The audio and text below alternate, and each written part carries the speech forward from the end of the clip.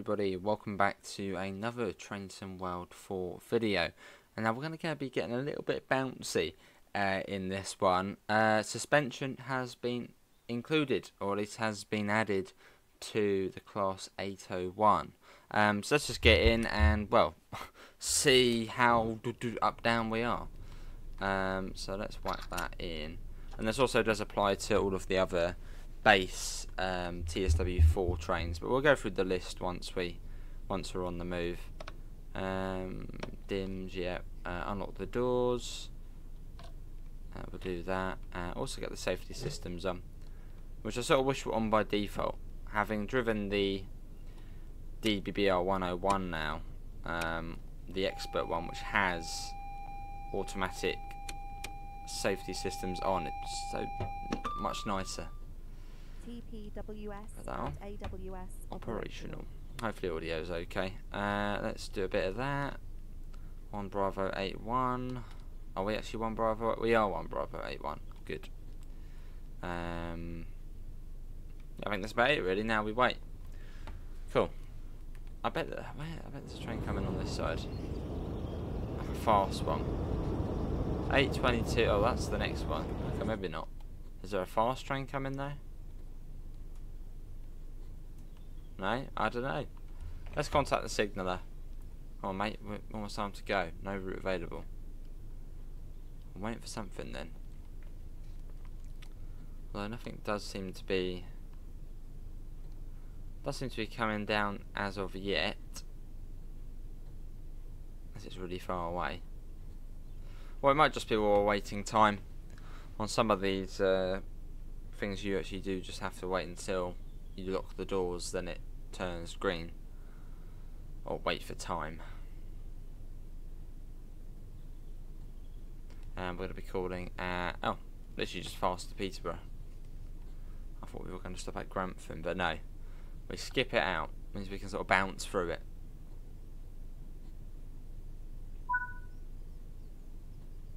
and we're going to get the road? There, we got the road. Right, uh, let's get the doors shut. Only got a single yellow though. Right, doors have been shut. That's all fine. I think that's everything. Right, 42 miles to, uh, to Peterborough. A little bit of a way. Right. What's the suspension going to be like? It should be fully updated as well. Will we feel it much? Well, we should feel it much in here. That's sort of why I've uh, picked this one to do. Because you should feel it quite a bit in this train. Little brake test. Now we're sort of thundering along at 125. Okay, there we go. There you go, little bounce and bounce around there, again there. Obviously you'll feel it much more over the um, track joints like that. Oh, let's um, put on the outside view. And you can actually... Come on, bounce again. Bounce. Yeah, so you see that? Which is quite cool. Uh, right, we are five coaches. So, well, should be off the points now. Let's go. Well, I was saying that we're only on a single yellow. So, we're not going to go too, too much, too ham. We're not going to drop the hammer just yet. Just in case, so that shouldn't be. The next signal is red. And yeah, I'll go through the list of trains whereby there is now suspension. Because that, well, before this update, the only train with suspension was the uh, Pacer, the 142. Um, uh, yeah, but nothing, well, nothing else. Oh, actually, no, tell a lie. The DBBR 218, that did have suspension working on it on Maintalbahn but I'm not entirely sure whether that was actually meant to be included.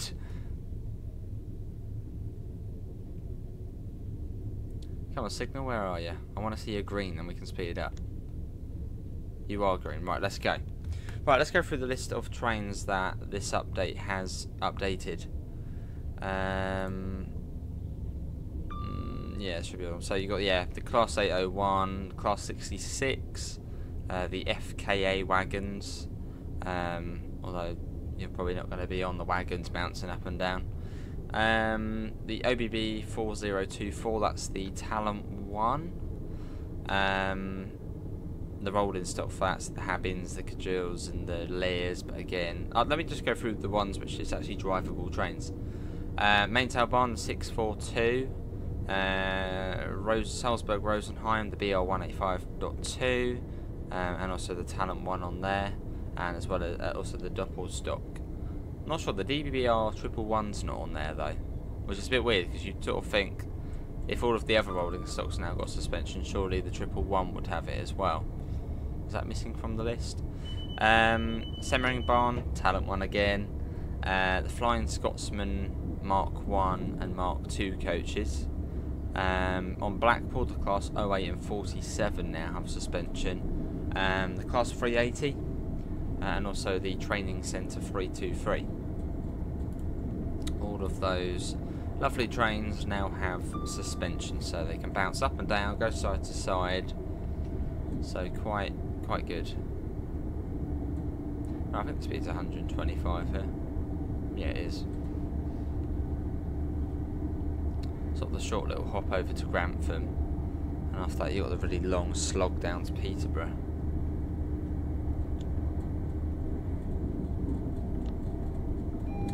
Right, green, good.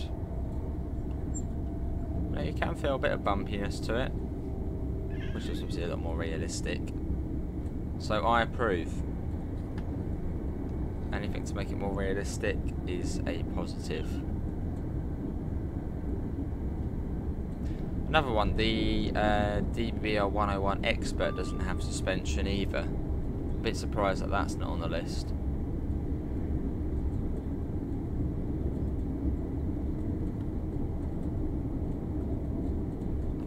Cool. Was there an American route? Yeah, Antelope Valley. Why is that not got suspension?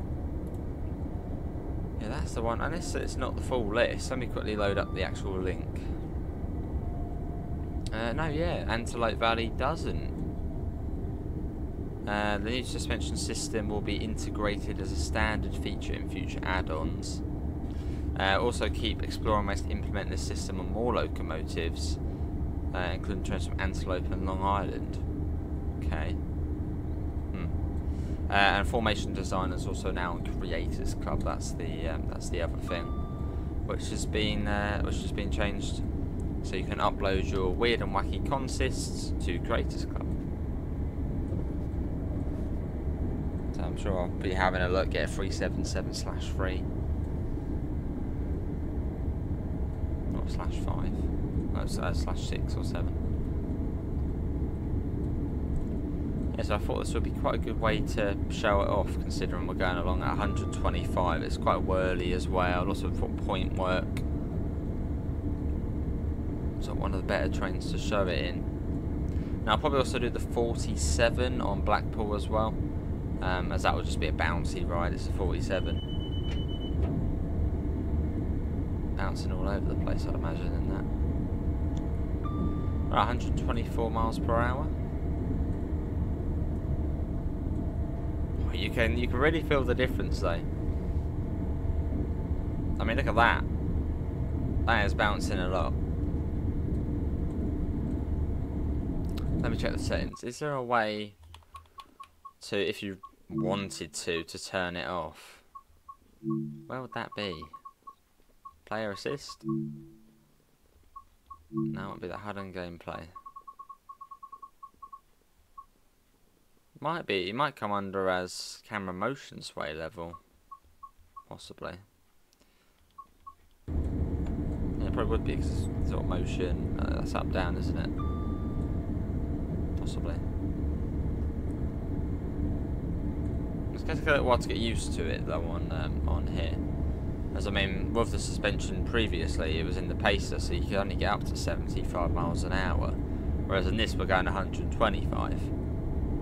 So the bounces are a bit, well, bouncy.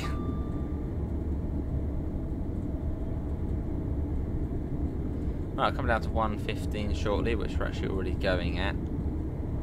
So I'm just going to sort of maintain a bit of power just to try and keep us at 115. Should be on the next curve where it comes down.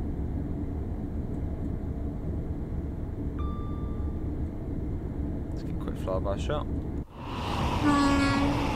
Funny little five coach. Barely ever do the five coach runs.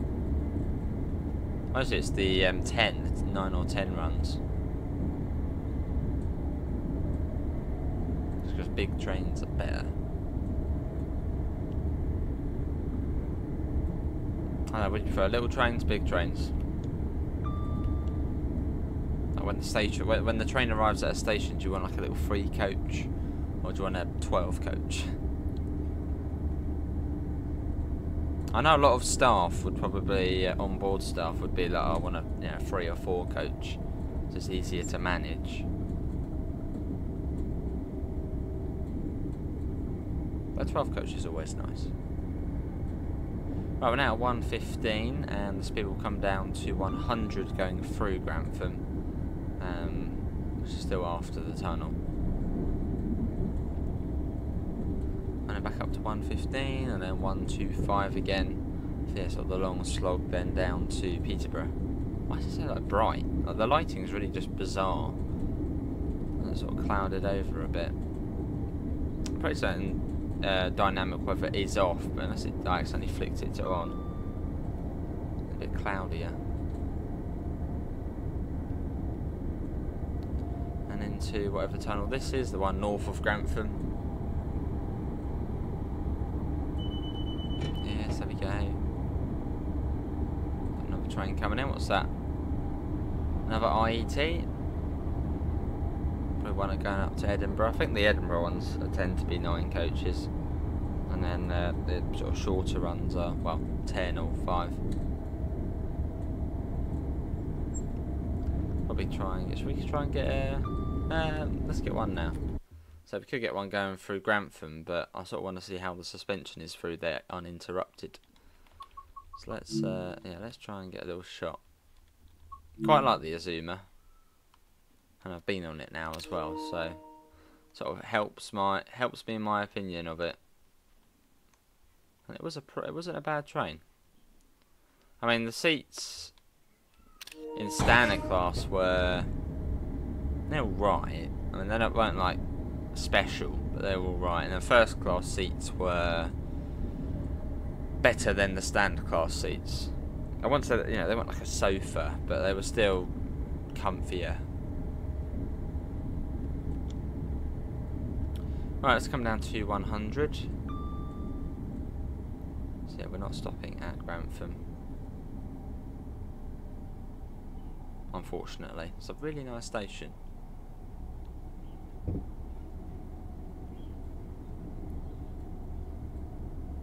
We got about 97 here. Come on, Grantham.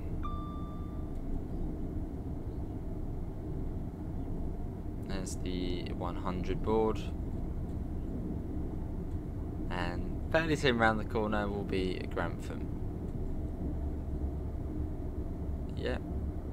Just goes on and on, doesn't it, the corner? There we go, there's Grantham.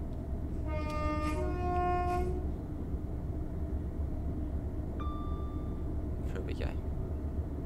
I'm just looking forward to when suspension gets added to the um, one of the Electrostars. Because I can see the 375 getting it, uh, being part of Southeastern High Speed. Hopefully. Right, back up to 115. I'll also be looking out for the 5 coach stop marker at Peterborough, which I've got zilch of an idea as to where that is. I feel like it might be an all marker, so it's just all all coaches down to the end. But we'll have to have to be careful.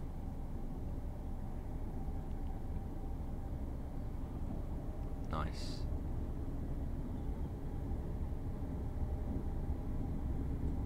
One oh six.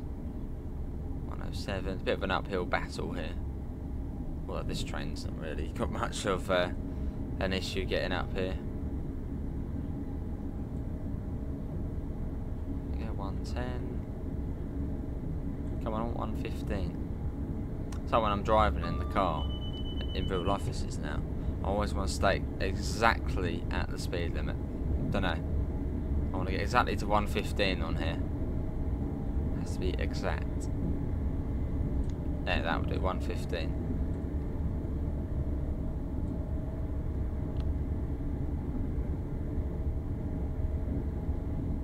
If, if that comes down, that's fine. Have a little flyby shot. Passing by shot.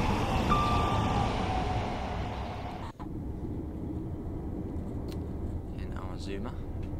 Who else has been on this train in real life? Comment below. Or Premiere chat or whatever. Who's been on one of these? What do you think?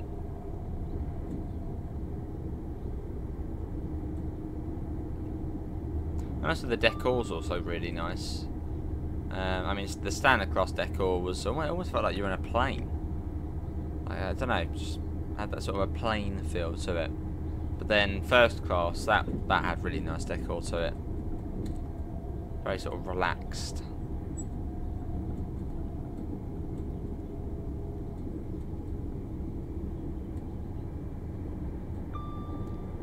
And just after the tunnel, it should go up to 125. We've got about 15 minutes to Peterborough. It's, uh, yeah, it's quite a long stretch. That's why I don't recommend doing the um, East Midlands run in the 158 between Grantham and Peterborough. It takes forever.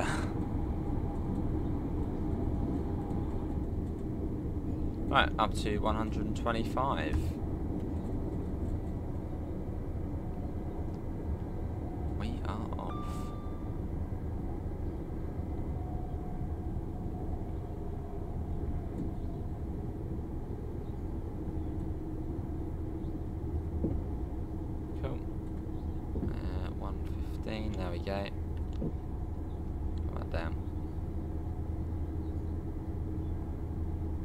Another one coming up. So you sort of think of this route as being fairly quiet, sort of LNER wise. You think, know, it'll be a train like every hour or so. But um, no, it's, it's quite frequent the service along here. Sort of the fast services. So you do see a lot of other trains, and occasionally we'll have to slow down for another train.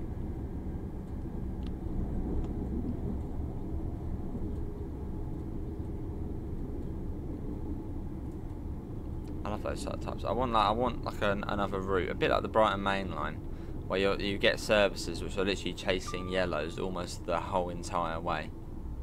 Like if you're on a Gatwick Express behind like a Southern service, just following the yellows the whole way from like East Croydon all the way up to uh, Victoria. Love those types of services. Makes it a bit more, uh, well, a bit more difficult, I suppose. First bouncing here. Proper bouncing. One, two, one. Let's get that again.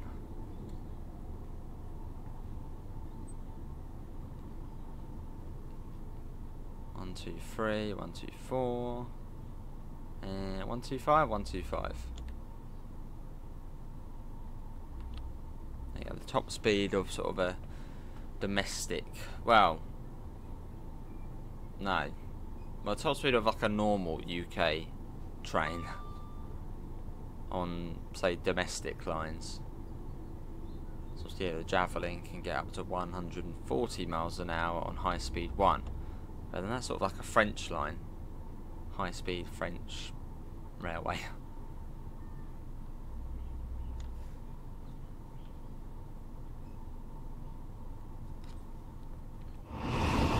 So if we can see it down here. Yeah, you can see that the uh, the bogey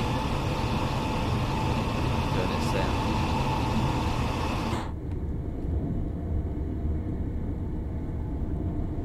So we shoot our way south. Bouncing south. Maybe I call that maybe that'll be the video title, Bouncing South. Or just suspension update. One of them.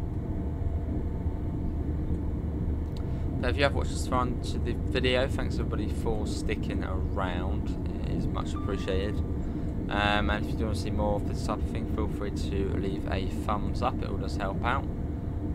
Um, and if you want to see even more, feel free maybe to even subscribe.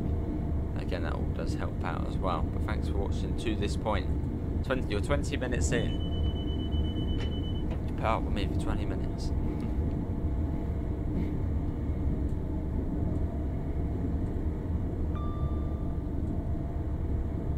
My eyes, just as we sort of speed are just going like, slowly, slowly, slowly falling asleep. And that's, the route's good. I'm not bored with the route. That rule.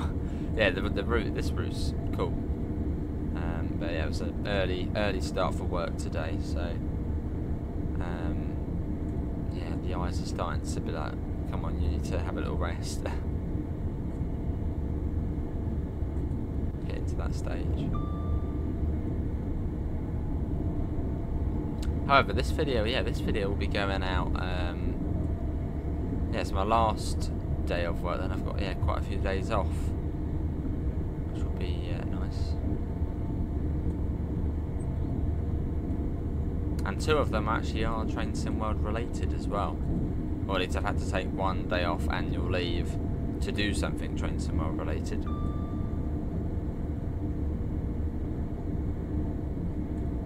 Which we'll find out about at some point.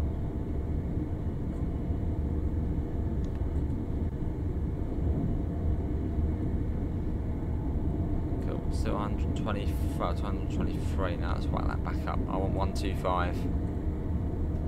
Just 125, not 125.1.2, just 125. 126, got it, slow.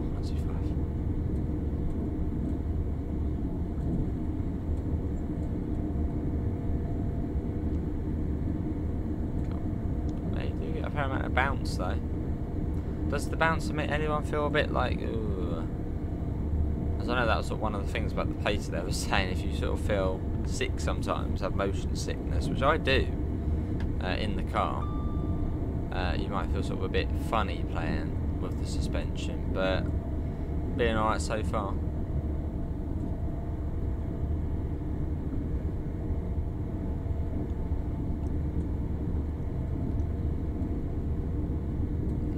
two. Ooh, imagine HST having suspension, the one on the Midland main line. I feel like that would be bouncy.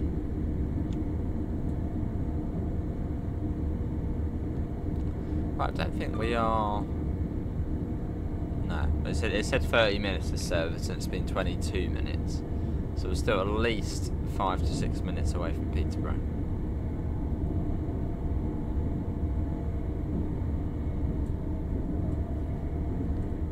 Come on, train, you can do it. Hold it together, get us there.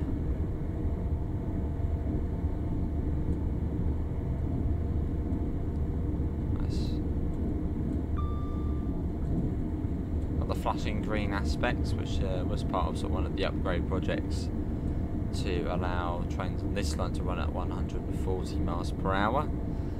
But uh, obviously that has, or didn't happen in the end, unfortunately. Well, so she probably did actually have drivers who went up to 140. Obviously, probably not nowadays. No, definitely not nowadays. But you know, say back in the 80s or 90s, you know, where you couldn't as such track uh, the train speed and etc. from like a control desk. You probably did get some drivers who went a bit sort of a bit fast.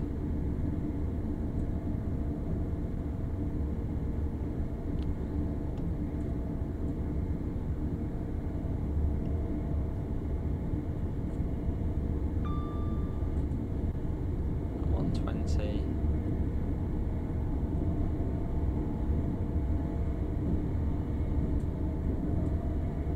Cool. Right, we yeah, we're not actually too far out now. This is like one of the markers for like, you know, you're getting closer to Peterborough. Neutral section there, which we were in, well, neutral. No power being applied. Green light. And fairly soon we'll get the line up from Spalding. Uh, that will sort of go under us um, yeah, relatively soon.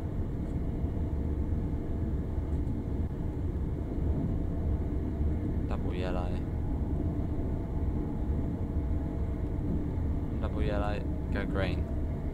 Go, green. So I need to sort of the level crossings on the route. Like, there's tons of sort of level crossings on a quad track, 125 mile per hour main line. It's like what?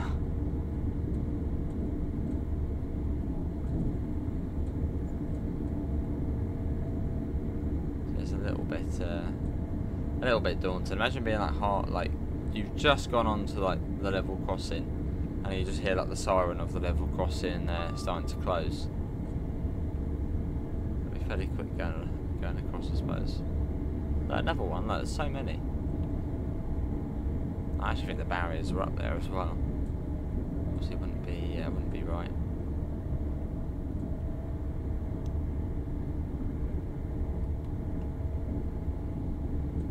And yeah, is the line from Spalding about to join up with us.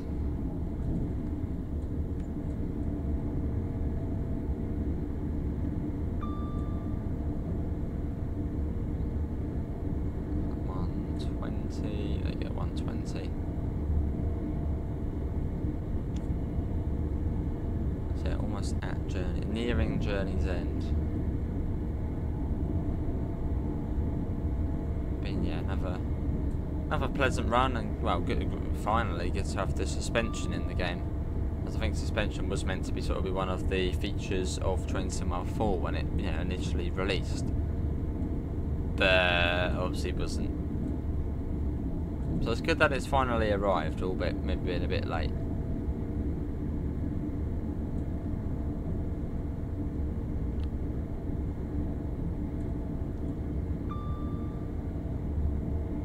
Uh, it's green.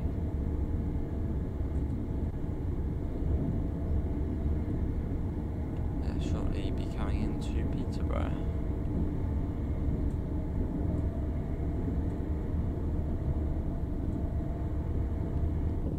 Yeah, that's the other line coming up from yeah, Spald Spalding? Spalding? Spalding? I it's Spalding. That's joining up there.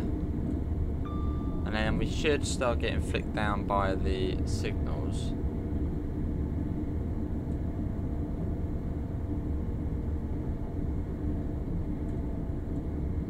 Yeah, it won't be too far.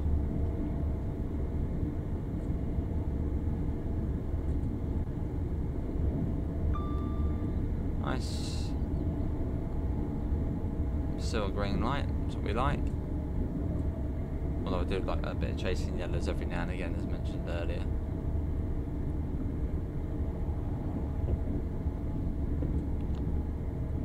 Right, let's start popping the brakes on. We've got a double yellow now anyway, so it sort of makes it a bit more serious.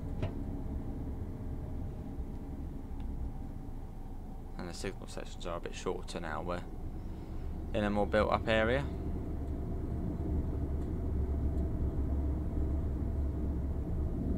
Yeah, but I believe we are actually cleared into Peterborough.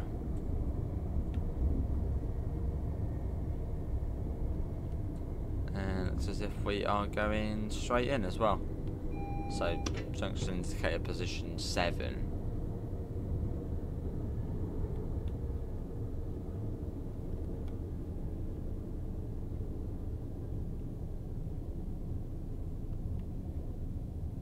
Cool.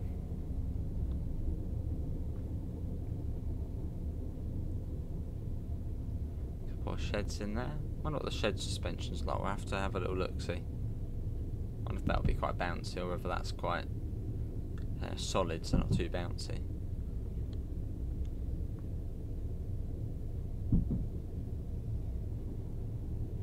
Also, the Goblin. The Goblin hasn't got the um, suspension either. At least the 710.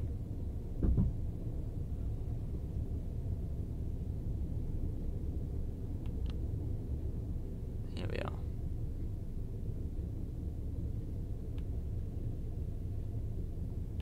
Right, so yeah, we might not be down to the end here. Or are we?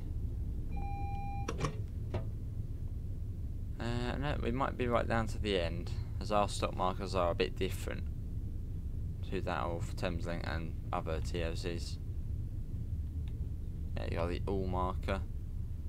So that's where we're aiming to stop.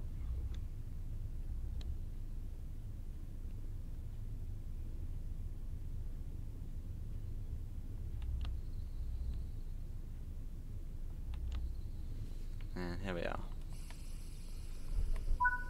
Welcome to Peterborough. Well, uh, that is coming for me. Hopefully everybody has enjoyed it. What did everyone think of the suspension? Uh, links can be found in all the usual places, Discord, PayPal, merch store.